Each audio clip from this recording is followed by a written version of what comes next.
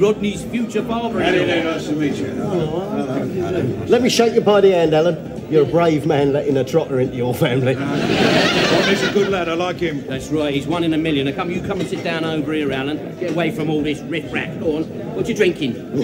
Just a lemonade for me, thanks, Del. That drink I had with you last week, it knocked me sideways. Hardly touch the stuff these days, and Pam, my wife, she doesn't really agree with drinking. No? Well, perhaps you ought to out her. You know, get yourself a younger model. Yeah, but she's been with me for so long now, she's almost one of the family. Go on, I'll have a small scotch, but let's be long. All right. So, I'll see you, so. Yeah.